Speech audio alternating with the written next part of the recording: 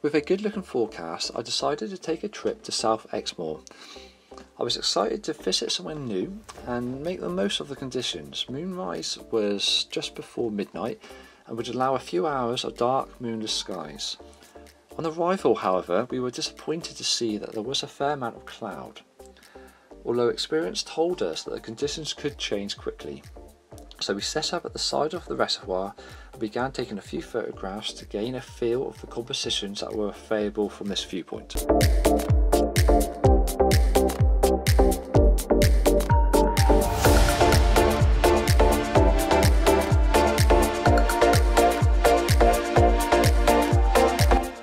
This is my first capture for a sky frame which I intended to merge with a foreground frame later.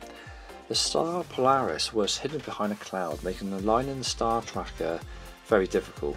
So this was taken with a 25 second exposure, untracked, at ISO 6400 with an aperture of 2.8.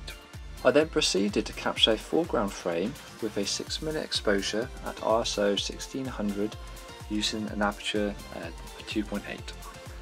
We waited at this location until moonrise, hoping for the clouds to clear. Unfortunately they lingered, but wanting to be defeated, we decided to walk along the dam to the opposite side of the reservoir to a few viewpoint where the moon would be rising over the water. The moonrise was incredible to watch as it peeked over the hilltop and reflected over the lake.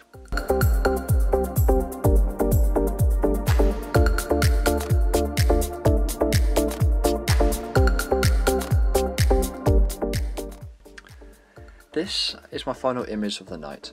I don't feel this would be making my portfolio, but it was great exploring this interesting area and to lay some groundwork in the planning for a revisit in better conditions.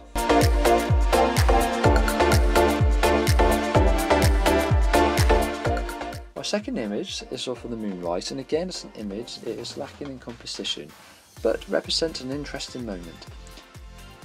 This brings us to the end, so thank you for watching, and if you are out enjoying the clear sky soon, I wish you good viewing.